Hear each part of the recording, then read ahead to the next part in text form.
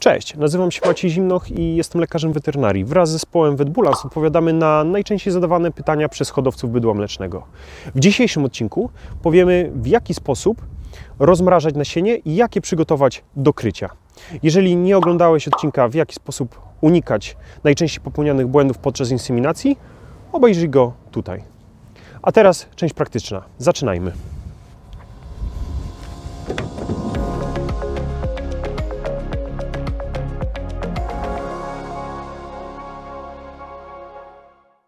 Celu przygotowania nasienia musimy zadbać o to, aby mieć ciecz roboczą w rozmrażaczu, tak aby była ona w optymalnym zakresie temperaturowym, to znaczy między 35 a 37 stopni. Wodę, która właśnie pełni tą funkcję, możemy mieć albo w słoiku lub też innym pojemniku, który akurat mamy w gospodarstwie. Ważne jest natomiast, abyśmy upewnili się, że ta woda przygotowana przez nas znajduje się właśnie w optymalnym zakresie temperaturowym. Sprawdźmy, jak wygląda sprawa z tą wodą. Ma 36,5 stopnia, czyli idealnie mieści się w zakresie. Pamiętajmy jednak, że jeżeli mamy kilka krów do inseminacji, ta woda bardzo szybko się wychładza, więc praktycznie po, każdym, po każdej inseminacji musimy sprawdzać, czy nie zmieniła się jej temperatura i dolewać na bieżąco ciepłej wody.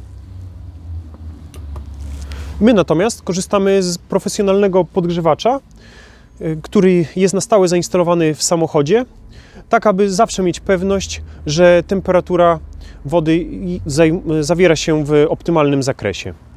Jeżeli jesteśmy pewni, że mamy ciecz roboczą, możemy przystępować do wyboru nasienia.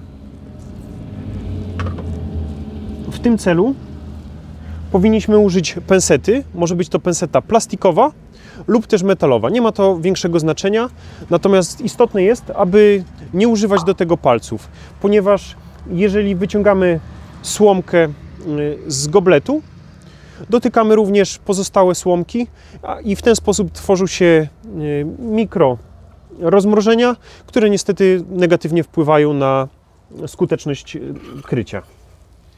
Dobrze, wybieramy więc słomkę, podnosimy wieszak.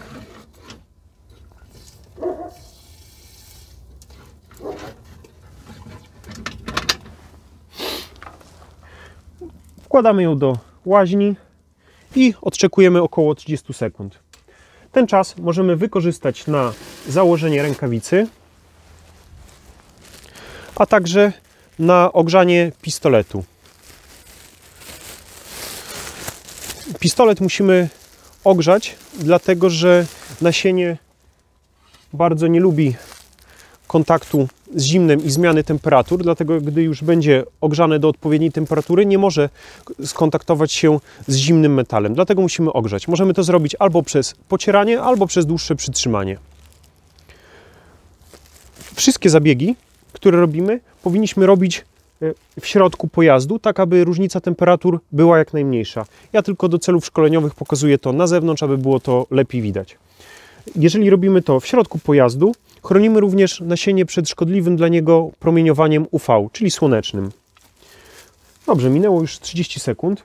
Możemy przystąpić do nakładania słomki na pistolet. Natomiast ważne jest, aby zadbać o to, żeby żadna kropla wody nie została na słomce, ponieważ jeżeli zostanie nam cokolwiek, to może nam to uszkodzić nasienie. Wybieramy koniec z, y, od strony zgrzewu, wkładamy do gilotynki lub też nożyczek, obcinamy, nakładamy na pistolet, tym razem od strony tłoczka, wkładamy w pistolet, bierzemy naszą osłonkę, wkładamy do końca nasienie i w ten sposób mamy już gotowe do, do krycia. Ważne jest, aby transportować teraz do zwierzęcia w, ten sposób, czyli w zaciśniętej pięści, tak aby ograniczyć możliwość zmiany temperatur, o której mówiłem już wcześniej. Ostatnim elementem jest nawilżenie dłoni. Dzięki temu e, sprawiamy większy komfort zarówno sobie, jak i zwierzęciu. Mam nadzieję, że podobał Wam się dzisiejszy odcinek w postaci instruktażu. Jeżeli tak, to napiszcie o tym w komentarzu, dajcie łapkę w górę, a także jeżeli jeszcze tego nie robicie, zasubskrybujcie nasz kanał i kliknijcie dzwoneczek, aby nie przegapić kolejnych odcinków. Natomiast jeżeli naprawdę bardzo podobał Wam się ten odcinek, udostępnijcie go osobom, które mogą z niego jak najbardziej skorzystać. Jeżeli nie widzieliście natomiast odcinka o zwiększeniu skuteczności inseminacji, możecie go zobaczyć w karcie tutaj. Tymczasem życzę Wam wszystkiego dobrego i zdrowia dla Waszych zwierząt. Do zobaczenia. Cześć!